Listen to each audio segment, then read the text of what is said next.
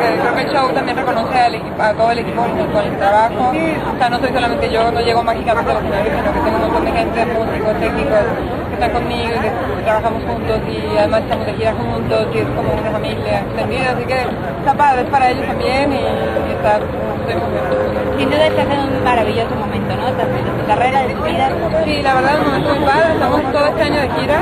Este, el año pasado salió el disco, eh, estuvimos tocando bastante y luego paramos porque a mi hija tranquilamente y luego nos fuimos otra vez en enero y eh, seguiremos todo este año dando vueltas por México, por México, por donde se ve. Y ahora este año gira, mucha gira, la verdad. Este, más que nada esto, el año que viene empezaré a preparar disco nuevo. Yo creo, ahorita vamos a sacar un tercer sencillo que se llama Ya Conocerán y luego de ahí iremos. ¿Cómo combinarás la etapa de mamá con la gira? ¿Te llevarás a la bebé? Pues sí, la verdad es que está viajando conmigo a todos lados y este, bueno. ¿Te ha cambiado el ser madre de la vida? ¿Te va a cambiar a ti? ¿Ya? Sí, ¿verdad? Sí, la verdad es que sí, sí está padre, está bueno, yo lo recomiendo. recomiendo el parto natural. ¿Cómo se llama tu bebita? Se llama Simona. Gracias. Bueno, gracias. Estación padrísima, aquí te puedo decir, queda ahí un pequeño testimonio para la posteridad, suponiendo que esto tenga importancia, ¿no? Lo que importa es hoy, lo que hagas hoy, nosotros cumplimos 750 representaciones de mañana, la obra sigue totalmente vigente, estamos en la semana 112 de temporada, perdón, dos semanas a teatro lleno y las que faltan. porque Siempre faltan ser el padrino, padrino. Mañana Rocío Banquel, que va a develar la placa, le hacemos un homenaje, va a haber un gran fin de fiesta con ella mañana y ya está lleno, a ya está lleno el teatro. Regresando a la luna, sí, de seguro se siente bonito, ¿no? Que se reconozca, claro que el público lo reconoce y quién lo. Pero que de pronto un reconocimiento así. Por supuesto, es un halago, es totalmente es un bonito guiño y que agradecemos de todo de develar placa por más de 750 representaciones. Híjole, pues muy contento, nos sentimos todos muy honrados de ser parte de un espectáculo que se ha convertido en un fenómeno.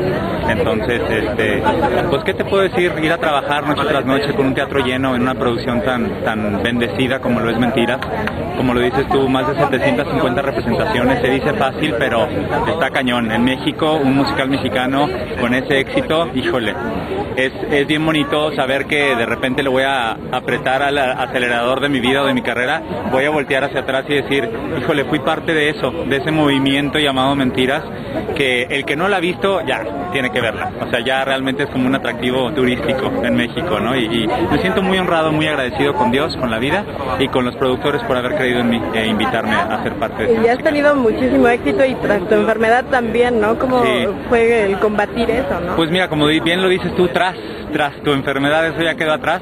Ya gracias a Dios ahorita estoy vivito, coleando, lleno de vida, lleno de, de proyectos y de vida sobre todo, ¿no? De, de, ganas de estar aquí y de ganas de, hacer lo que amo.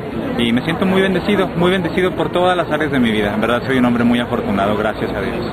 ¿Qué otros proyectos ya tienes En próximamente? mi disco ya está, ahorita ya le están poniendo las cuerdas, este, ya está básicamente ahí todo, el- todo- todas las cuerdas en el estudio del productor Memo Gil y entro yo a ponerle voz, yo creo que en unos 15, 20 días, este máximo, perdón, este, entro a, a ponerle voz. Entonces, eh, pues qué te digo, es mi bebito, por fin se me hace, este, yo soy el productor ejecutivo junto con Rosy Pérez Navarro, mi manager y que es mi disquera, Consecuencias Discográficas, y me siento muy contento, muy contento de, de tener eso, de estar con Mentiras. Y hay otros proyectitos, voy a hacer un cortometraje, voy a filmarlo a finales de este mes junto con Mariana Treviño, que también es compañera mía en Mentiras. Entonces es un cortometraje musical y me siento contento. Acabo de hacer un capítulo para, como dice el dicho, hay mucho, muchas cosas pasando, gracias a Dios hay mucho movimiento. ¿no? O sea que trabajo no te va a faltar Gracias a para Dios. este año. Así que Dios me dé mucha salud y vida para poder seguir chambeando. ¿no? Ok, pues muchísimas gracias. ¿Cómo estás, Leti? Feliz, feliz de la vida, muy contenta, orgullosa de, de recibir hoy eh, la placa de las lunas del auditorio por Mentiras el Musical. Muy honrada de pertenecer a este proyecto que es maravilloso, que ha sido un parteaguas en el teatro, que nos ha llenado de experiencias increíbles, que estamos en compañía de compañeros talentosísimos, de un director y escritor muy creativo, maravilloso, maravilloso que es José López Velarde, que ha hecho una obra muy especial con un contenido muy nuestro, muy mexicano, que yo creo que es lo que se ha identificado mucho con la gente. Mañana develan placa para Mañana 750 representaciones. Por fin. Estamos emocionadísimos de, de ser un musical que está rompiendo un récord importante en el sector musical, porque es el primer musical que llega a este número de, repre- Estoy muy orgullosos, muy contentos. Yo en lo personal estoy muy feliz y muy agradecida con, Dios, con la vida, con Morris, con José, con todos mis compañeros, porque es mi primer musical con, con Ocesa y ha sido un musical muy exitoso, muy lindo, que nos ha llenado de experiencias grandísimas y de aquí para adelante, si Dios quiere, y mañana y los esperamos.